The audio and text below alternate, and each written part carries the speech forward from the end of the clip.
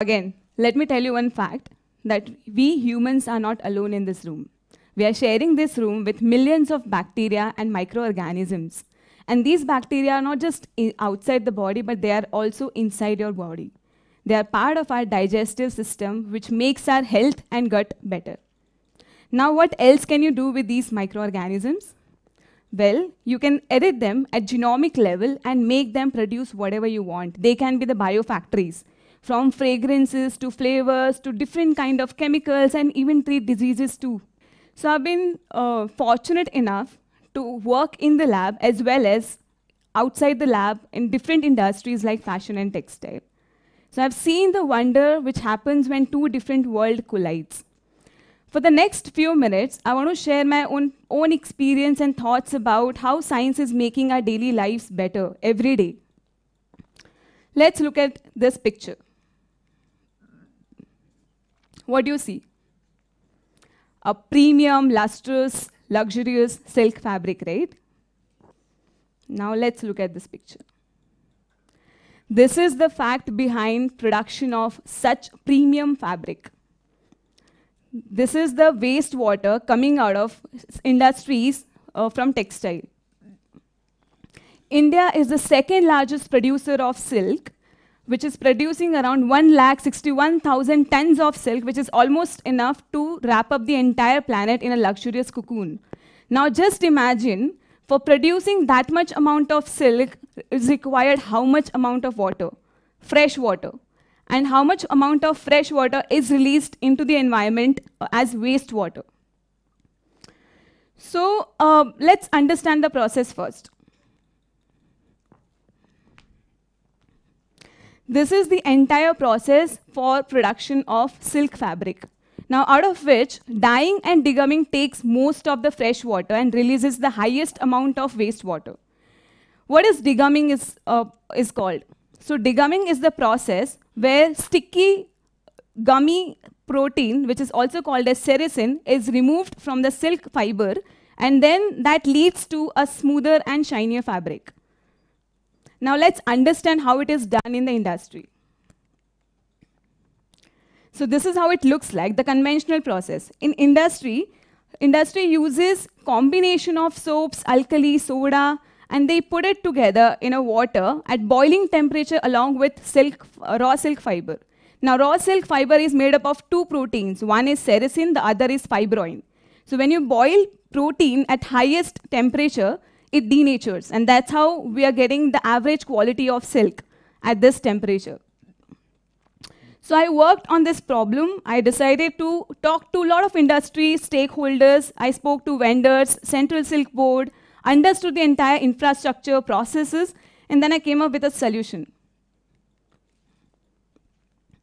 So in this process, I invented a process and an agent where you put the raw silk inside, uh, inside the solution, for a few minutes, remove it after a few minutes, and then just wash it with hot and cold water, and that's it. The silk is degummed.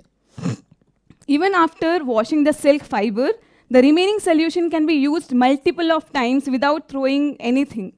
And even after multiple cycles, there is a solution remains, which can again be used to recover sericin peptides, which again goes into cosmetic and pharma industry. So no waste there. Good, right? Similarly, we identified another problem. This.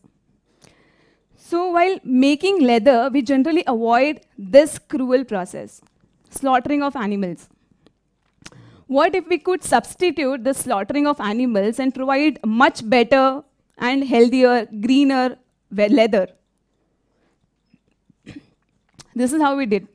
So we grown bio leather inside our lab you, you can grow it in different sizes, shapes, thickness, even, uh, even you can work around with texture and design, and this is how it feels like. Exactly look like leather. It feels like leather, you can have same maintenance and durability rules for this leather as well. Now we work with a lot of other biomaterials from biofoam, biopolymers, and we practice all those projects in terms of a show called the Biofashion Show. So here we train fashion designers on how to create these materials first, and then use these materials in their fashion show, in their fashion clothing. And then on the day, they present their creations on stage. And they're rewarded so that they can continue their work further. Now let's take a step, step back and understand where it all began. Picture this. You are a college graduate. You want to work on a project. Where do you turn to? College labs? Industry labs? So let me tell you, college labs, they can't accommodate all the projects. They have very limited resources for very limited set of people they have to cater to. They have academic calendar going on. And in that academic calendar, it is very difficult for them to accommodate your own project. Then you go to industry labs. So industry labs, they have their own set of protocols, experiments, everything is fixed according to their own needs, right? They can't accommodate any external ideas. Then where do you go? This was a similar case I faced during my project work in 2015 when I graduated from the college. Then I came across this concept called DIY Bio do-it-yourself biology lab.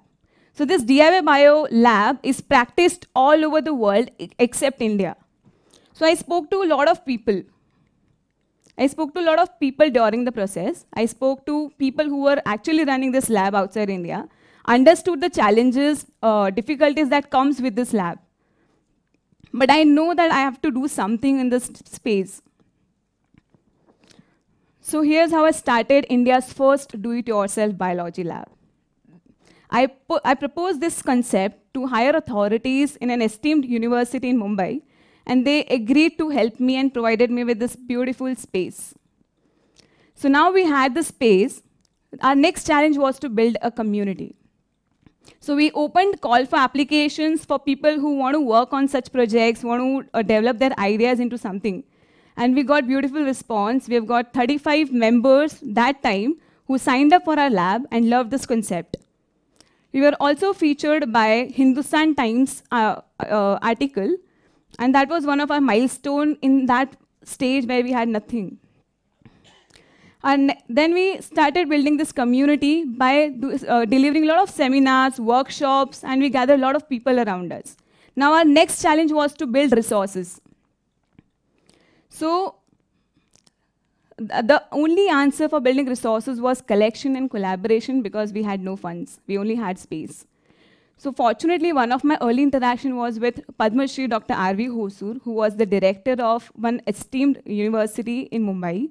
He, he loved this concept and he agreed to help us with all the knowledge and resources that he has.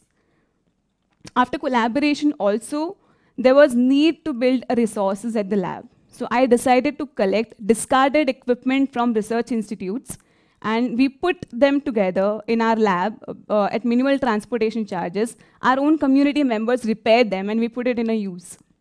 And that's how we begin 13 DIY projects. So these are the collected equipment that we got from uh, institutes, colleges. Some, some also donated some glasswares to us so we could start. So we built 13 projects with these limited resources, and I knew that this is not enough. We will need more funds. So I decided to write several proposals for donations, grants, CSR, and most of them have got no replies. One, uh, five of them were rejected, which led to disappointment to all of us, to all our community members. But giving up was never an option for me. So I wrote more proposals, and after two years of struggle, one of my proposals was accepted by BIRAC and it was the happiest moment of my journey so far. It took us another two years for us to build the lab, and this is how it looks like. So this is an open science lab where we promote innovations, entrepreneurship, citizen science, and we, this is a house for 38 startups, 17 projects and counting. Open science is also termed as citizen science, where people from different expertise, different backgrounds, they all come together, identify a common problem, and then they decide to find a solution for that. Now, why open science is important? Open science is important because it gives transparency of the research. So when you're doing the research, the research should be transparent to others so that they can replicate the same uh, effort that you have put in. Second, it gives the access to data and methods which are already been developed by some other researchers. And third, it provides collaboration for several researchers across the world and they can build upon the advancements.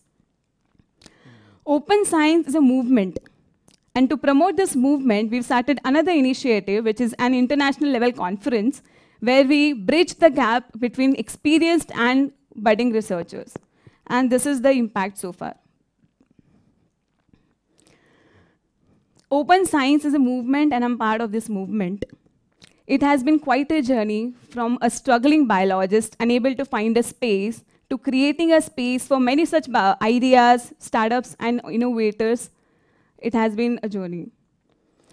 In the end, I would like to say that open science uh, is needed in the society to build upon it and not to be restrictive about our own work. Thank you.